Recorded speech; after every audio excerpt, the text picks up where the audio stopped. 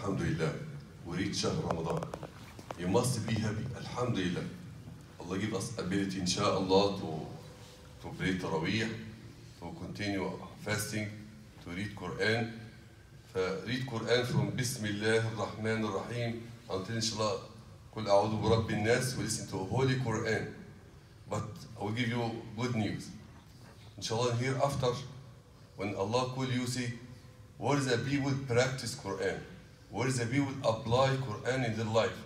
You are half it or not.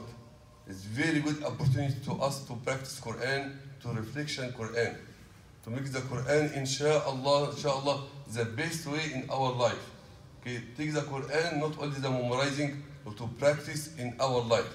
ذلك الكتاب لا ريب فيه. No doubt in the Quran. Maybe some ayat we can't understanding. Maybe some ayat we can't practice But we ask Allah subhanahu wa ta'ala help.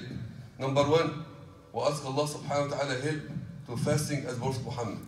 Then we ask Allah subhanahu wa ta'ala give us ability to read Quran, to apply Quran in our life. أقول قولي هذا وأستغفر